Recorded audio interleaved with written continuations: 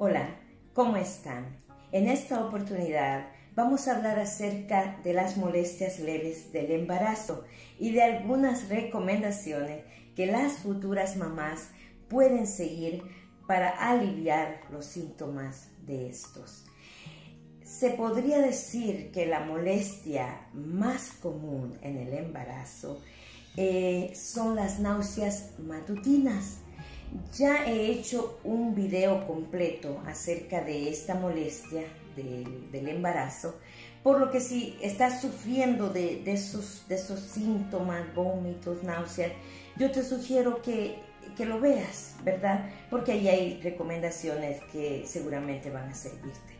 Pero ahora vamos a ver otras molestias del embarazo, como por ejemplo el estreñimiento el estreñimiento es causado por las hormonas del embarazo que relajan los músculos lisos del tracto digestivo. La presión también que ejerce el bebé en los intestinos y en algunas mujeres por el hierro que toman. ¿Qué puedes hacer para, para evitar esta molestia? Veamos. La mejor manera de evitar el estreñimiento es aumentando el consumo de alimentos ricos en fibra, incluidos cereales de salvado, cereales integrales, frutas y verduras crudas y consumiendo cantidades adecuadas de líquido.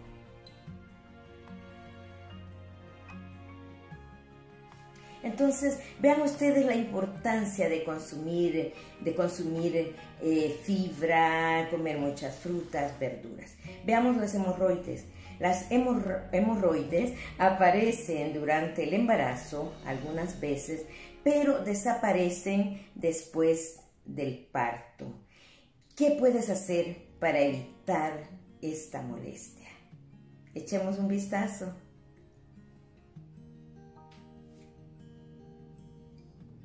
Las hemorroides se pueden prevenir agregando salvado a la dieta para asegurar el paso regular de las heces sin agregarles presión. Entonces ahí tienen que también la importancia de, la fibra en la dieta alimenticia, ¿verdad? De, ingerir esos alimentos, el salvado de trigo y todos estos alimentos que tienen mucha fibra. Veamos la acidez estomacal.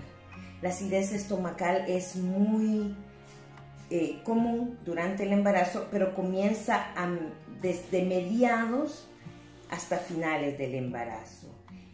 ¿Cuáles son algunas de las recomendaciones para aliviar los síntomas de esta, de esta molestia? Vamos a ver.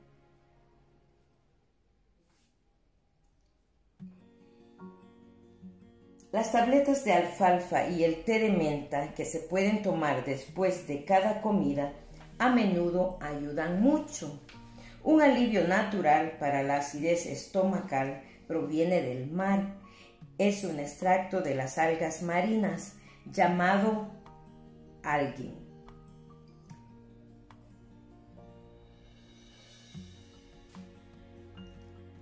También es importante evitar las comidas grasosas porque pueden eh, causar esta, contribuir a esta molestia. Ahora veamos lo que es el cansancio. Tú te sientes cansada, sobre todo los primeros meses. Es, es muy común sentirse así. Pero por lo general, después del tercer mes, te sentirás con mucha más energía. ¿Cuáles son las recomendaciones? Acerca de, este malestar. Echemos un vistazo.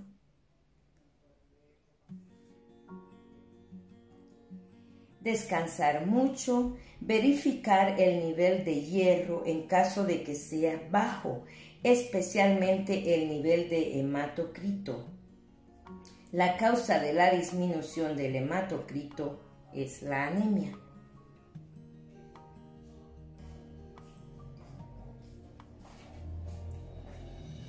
Veamos entonces ahora los dolores de espalda.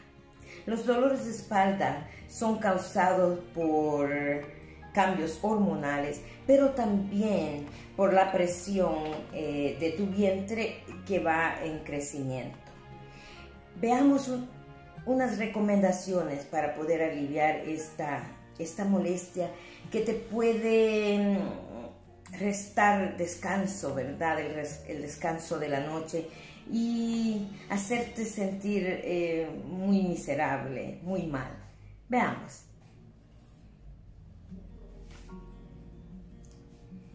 Párate derecho y erguido, saca el pecho, no inclines todo tu peso contra tu estómago. Duerme en un colchón firme, aplicar calor, no uses tacones altos, caminar mucho, ejercicio de estabilización pélvica.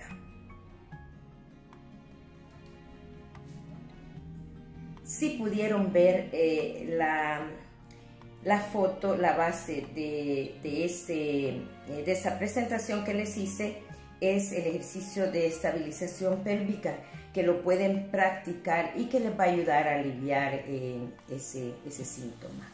Ahora veamos las venas varicosas. Las venas varicosas son más frecuentes después de varios embarazos o si estás, eh, si tienes demasiado peso.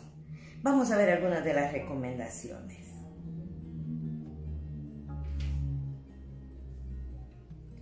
No te sientes ni te pares por periodos prolongados porque la gravedad ejerce más presión sobre las venas. Cuando te sientas o cuando te sientes, eleva tus piernas al nivel de tus caderas. No uses ropa demasiado apretada no te sientes con las piernas cruzadas a la altura de la rodilla, pues ejerce presión directa sobre las venas principales. No frotes las varices. Si una vena inflamada está enrojecida o sensible, consulta a un médico.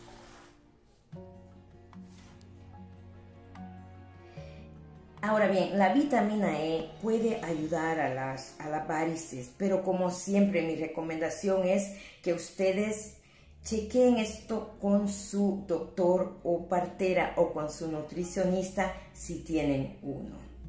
Ahora, veamos los calambres. ¿Qué pasa con los calambres que son tan a veces muy frecuentes durante el embarazo? Son causados por... Eh, la falta de circulación, una circulación muy pobre, podríamos decir. Entonces, ¿cuáles son algunas de las recomendaciones para aliviar esta molestia del embarazo? Echemos un vistazo.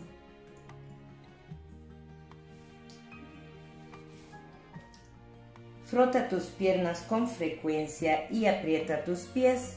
No cruces las piernas cuando estés sentada las medias de soporte pueden ayudar. Falta de vitamina B. Ten en cuenta que la falta de calcio puede causar calambres en las piernas, por lo que es posible que desees aumentar la cantidad a la mitad. Nuevamente les sugiero que consulten con su doctor o su partera. Estas son recomendaciones y ustedes pues tienen que chequear con el proveedor de, salud que las está atendiendo, ¿verdad? Durante el embarazo. Ahora vamos a ver algo que también es muy común, que es la hinchazón de los tobillos y los pies.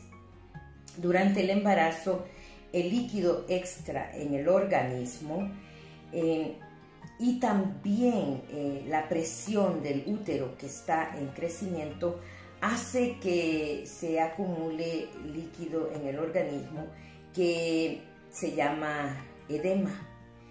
Y esta molestia es más frecuente eh, cuando se está acercando la fecha de nacimiento del bebé y sobre todo eh, al final del día y en climas este, o sea, cuando la temperatura está muy, muy, muy alta, muy caliente. Ahora, eh, la hinchazón en los tobillos y en los pies no es causa de alarma.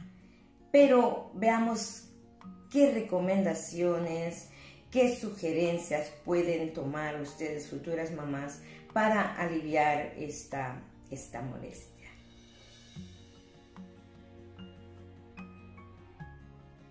Evitar estar de pie por periodos muy prolongados. Levantar tus pies a la altura de las caderas cuando estés sentada. Estírate a menudo cuando estés sentada por un periodo largo. Acuéstate sobre el lado izquierdo cuando duermas. Nada o párate en una piscina y procura que el agua llegue a tu cuello. Bebe suficiente agua.